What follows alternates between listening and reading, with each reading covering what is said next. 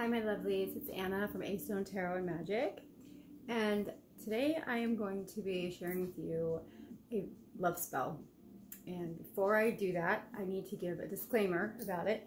Um, yeah, so I am against love spells personally. Um, they are terrible because they go against someone's free will. If somebody doesn't want to be with you anymore, you should let them go because they don't want to be with you. So if you're that crazy that you actually really want to do it, and trust me, I've been there, so I'm not judging. I'm just saying.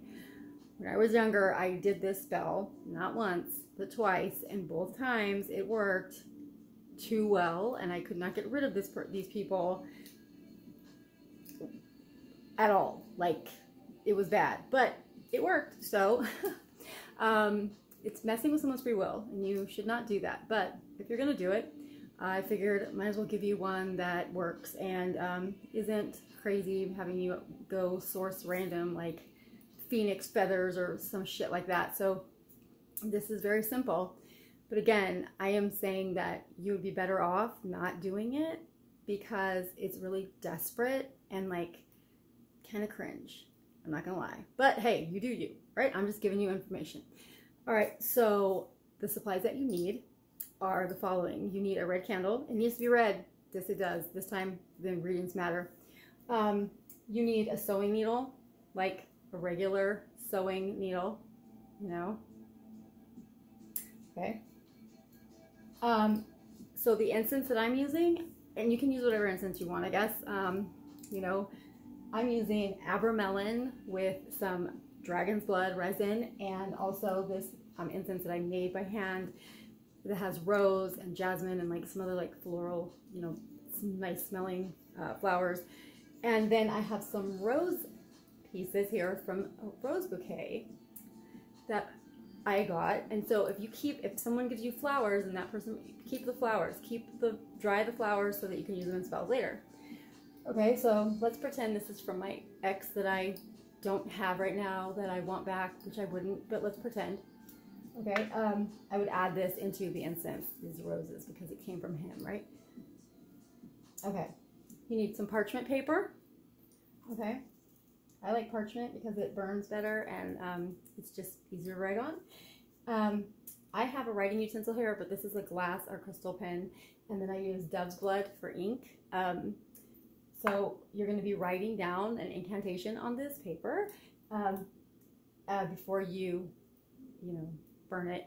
okay, but um, so you're gonna have some oils to dress your candle and you need some kind of knife to carve into the candle. So I have my little mini athame and um, so you would write the person's name into the candle, right? You carve it in there as many times as you want.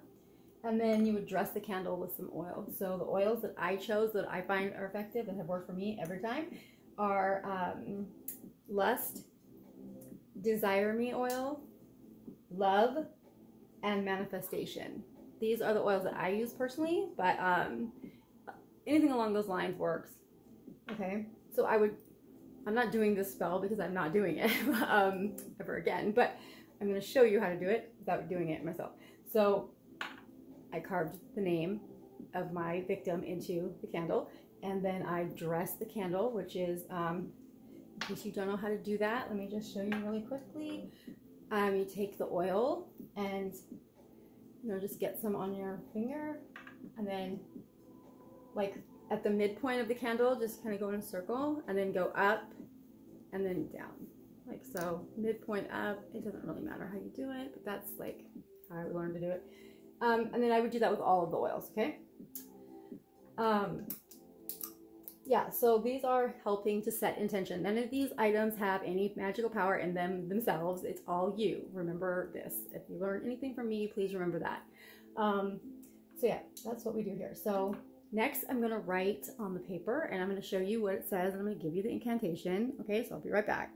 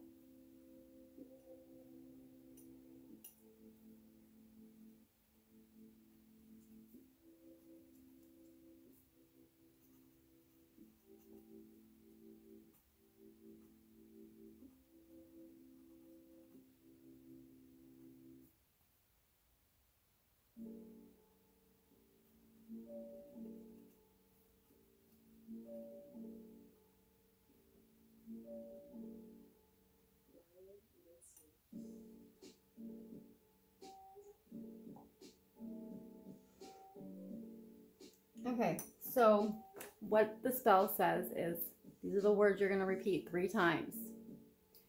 Well, first of all, hang on. Actually, let me, let me do that. Okay, so you're going to take this needle, okay? And you're going to take the needle and you're going to stick it through the wick of the candle, like down towards the base at where the wax is, basically. Okay?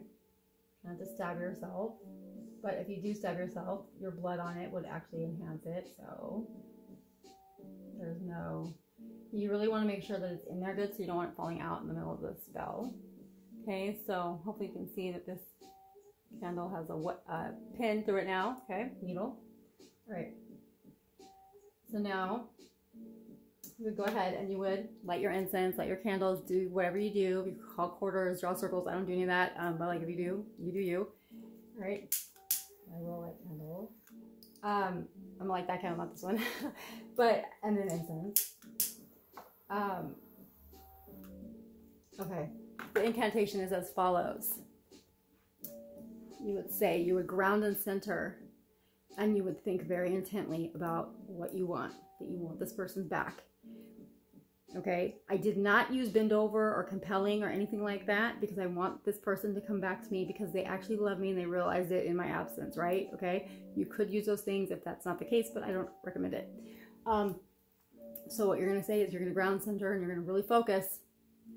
Focus. If you got a picture of the person, put it underneath the candle holder, and you're gonna say this three times: needle in the flame, needle of fire, pierce his thoughts or hers, make him right and agonize until his heart turns back to me. You say that three times. And then at the end, you say, if you want to do a binding, you know, like all the powers of three times three, the spell bound around shall be to cause no harm, no return on me, as I do will to be, whatever. If you want to do that, or you just say, so it is, or so it shall be, whatever, however you want to close it out, that's fine. And then you're going to take this paper that you wrote the incantation on, and you're going to fold it one, two, three times and then you're going to catch this on fire with the wick of this candle right here that has the needle in it and you're going to put it in your cauldron and let it burn. And you're going to wait until this candle goes out right? Like do not put it out on your own. You have to burn all the way down. And then your spell is done and this person will come back to you. Is it a good idea? No. Does it work? Yeah. Let me know your experience in the comments. All right guys Best of luck. Remember, don't fuck with free will. Just saying. You wouldn't like someone doing that to you. All right, guys. Blessed be.